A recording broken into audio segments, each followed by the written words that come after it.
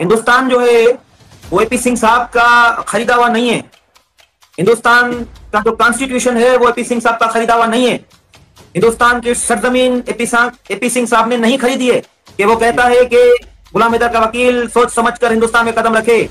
AP Singh साहब अगर मेरा मैसेज सुन रहा है तो वो थोड़ा होश के नाखुन ले। आपने नहीं खरीदा हिंदुस्तान। आपकी सरजमीन जो है आप नेशनलिस्ट ज़रूर होंगे वहाँ के।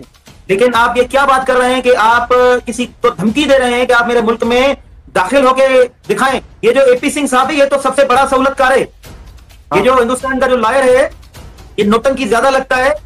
ये बदतमीज शख्स मेरे मुल्क के खिलाफ नारे लगवाता ये सीमा हैदर मामले में सीमा का सबसे बड़ा सहूलतकार ये है। मेरा ये कहना है सर एपी सिंह साहब का जो है ईमेल का रिकॉर्ड निकाला जाए। एपी सिंह साहब की तमाम जितनी भी सिम कार्ड्स हैं वो निकाले जाए। एपी सिंह साहब के जितने भी मोबाइल फ़ोन है, वो ट्रैकिंग पे लगाए जाए, उनका रिकॉर्ड निकाला जाए। एपी सिंह साहब का तमाम जितना भी ट्रेवल रिकॉर्ड है, वो निकाला जाए। मैं यकीन से कहता हूँ ये हिंदुस्तान उम्मीद करता हूँ कि आप सब खैरियत से होंगे। दोस्तों, गुलाम हैदर के जो वकील है, मिस्टर रोशन अली ख़ान, जो गुलाम हैदर के केस की जाँच कर रहे हैं और अपने हाथों में गुलाम हैदर का केस लिया है। तो दोस्तों, गुलाम हैदर के वकील की तरफ़ से बहुत ही ज़बरदस्त इंटरव्यू आया है ए पी सिंह और सीमा हैदर के हवाले से, जो कि आज का लेटेस्ट इंटरव्यू है। और ये इंटरव्यू बहुत ही धमाकेदार इंटरव्यू होने वाला है, जिसमें रोशन रोशन अली ख़ान ने ए पी सिंह को खरी खोटी सुना डाली, जो कि आप सभी को पता ही है कि ए पी सिंह ने कहा था कि अगर गुलाम हैदर और उनके वकील इंडिया आएँगे तो सोच समझ कर आना।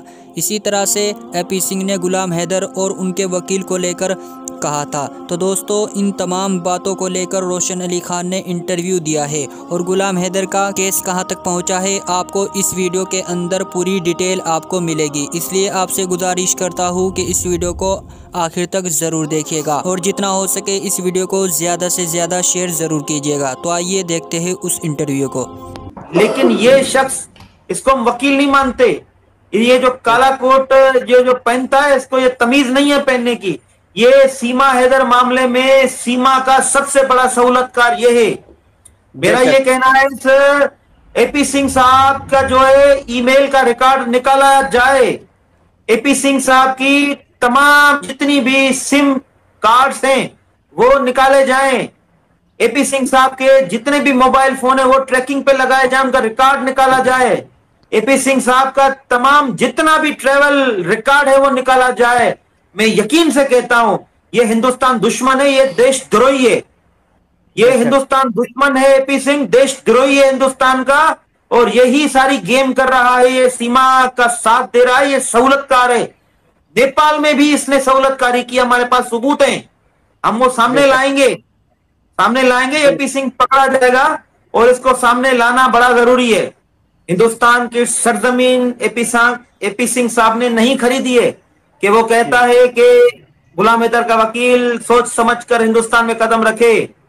एपी सिंह साहब अगर मेरा मैसेज सुन रहा है तो वो थोड़ा होश के नाखुन ले। आपने नहीं खरीदा हिंदुस्तान।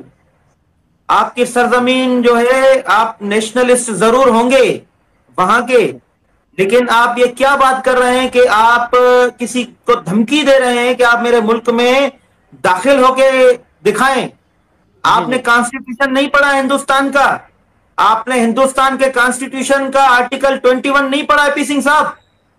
आपने आईपीसी इंडियन पिनल कोड नहीं पढ़ा? थ्रेड देना इंटिमिडेशन करना।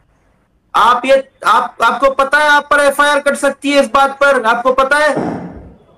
अगर मैं हिंदुस्तान की सरजमीन पर होता मेरी हिंदुस्तान की सरजमीन पर होते हुए अगर आप ये बात करते तो मैं पाकिस्तान का वकील होते हुए हिंदुस्तान की सरजमीन पर आप पर एफआईआर कटवाता और मैं आपको बताता कि आपके संविधान जिसको हम कॉन्स्टिट्यूशन कहते हैं हिंदुस्तान का, कि हिंदुस्तान के कॉन्स्टिट्यूशन का आर्टिकल 21 मुझे प्रोटेक्ट करता है। क्या बात कर रहे हैं आप?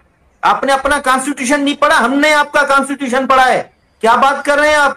धमकी दे रहे हैं? किसको धमकी दे रहे हैं? क्या आपके पास इंडिपेंडेंट जुडिशरी नहीं है? क्या आपके पास इंडिपेंडेंट बार नहीं है?